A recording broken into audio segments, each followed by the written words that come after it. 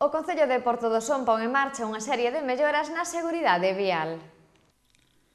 O Concello de Porto do Son será obxeto de diversas obras, Unha mostra destas tarefas serán as melloras de seguridade vial no casco urbano de Portosín, así como a habilitación de aceras en todo o tramo de Queiruga a Camaño e de Camaño a Xuño. De feito, aproveitarán para introducir a rede de saneamento co objetivo de que unha vez se poña en funcionamento a depuradora non teñan que volver a levantar o pavimento. Así mesmo, procedease a aposta dun paso de peóns entre a igrexa de Portosín e a zona portuaria, algo moi demandado por parte dos veciños pero que non era posible ata que non se dispuxasen as aceras. Todas estas actuacións están enmarcadas dentro do Plan de Obras e Servizos da Deputación da Coruña. Na sur do Concello, que é entre Queiruga e Camaño, que tamén vamos a completar todo o,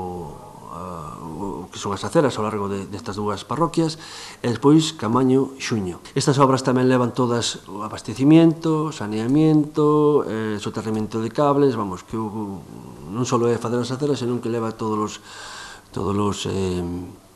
todos os sistemas de, de, depura, de, de depuración e de saneamento e de, de abastecimento xa para que unha vez que, que,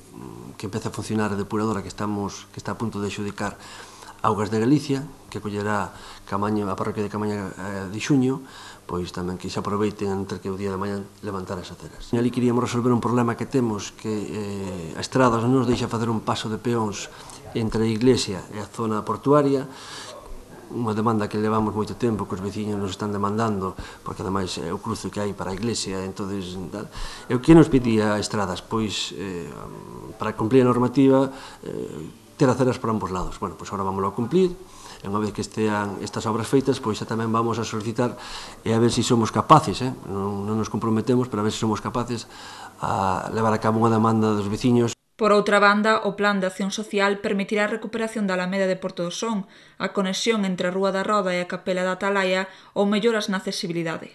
Unha fase bastante importante que o entronque entre a calle da Roda e a Capilla da Atalaya. E aí vamos a empezar con a fase, con a primeira fase, que tamén queremos ir, vai, unha, vai a ser unha atención moi bonita, e vai estar moi integrado porque é unha zona moi visitada, e, e vamos a recuperar todo o que é o contorno da Capilla de Atalaya que vai tamén enlazado co que vos dicía ao principio da recuperación desta alameda. Hai un cambio de nivel e vamos a hacer de accesibilidade para menos válidos, incluso para xente maior que moitas veces ten que desplazarse non en coches particulares, en no coche de línea, e vamos a, a facer integrar moi ben o que é o casco urbano ca, ca zona de ca zona da estrada 550 onde está a Marquesina.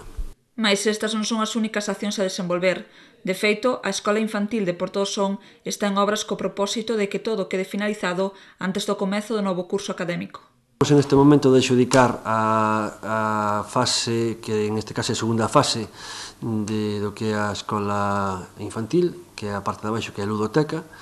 eh, que está no mesmo edificio para a ludoteca, entonces eh, foi axudicada a semana pasada, agora creo que o único que falta que, que a empresa pois trae a documentación, pois o plan de seguridade,